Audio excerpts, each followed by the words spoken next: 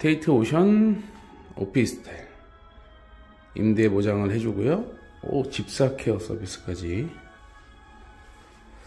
타입은 복층도 있네요. 테라스까지 자 입구로 한번 들어가 보겠습니다. 입구에 들어가면 오 입구가 생각보다 네, 넓어요. 신발장은 당연히 있고 음 옥화분 자 화장실 한번 가보겠습니다. 오, 와, 이 욕조는 뭐야? 네, 욕조 화장실 아주 고급스럽게 크게 잘 받았습니다. 그리고 이 테이튼 오션은 전문적인 완벽한 투룸입니다. 문이 달려있는 투룸이죠. 어, 제가 알기로는 영종도 내에 투룸은 없습니다. 다 1.5룸인데 투룸이라고 속이고 있죠. 오, 작은 방도 작지 않습니다. 시스템 에어컨 당연히 들어가 있을 거고요. 냉방 난방. 우후. 역시 투룸은 맞네요. 붙박이장이 두 자짜리가 들어가 있네요. 네. 붙박이장도 크게 들어가 있고요. 자, 거실 쪽으로 가다 보면 음, 팬트리인가요?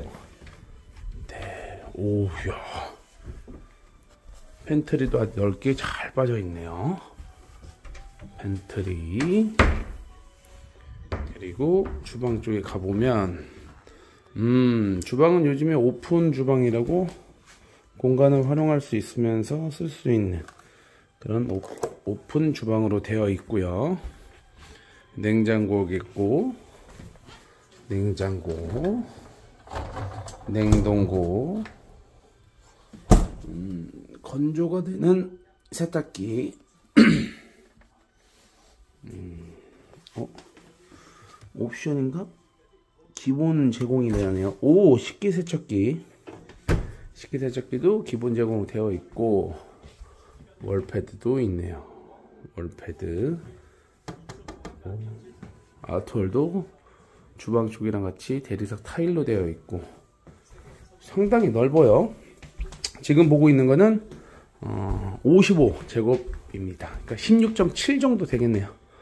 안방으로 들어가면 당연히 문이 있고 에어컨 있고 이야 이 안방도 상당히 큽니다 네 안방에도 당연히 붙박이 장이 있어서 팬트리를 확실하게 팬트리로 사용할 수 있는 그런 구조로 되어 있네요 방마다 붙박이 장이 두 개나 있고 네 테이튼 오션입니다 네, 여기가 이쪽으로 바로 볼 때 바다가 영구 조망이 있는 거죠.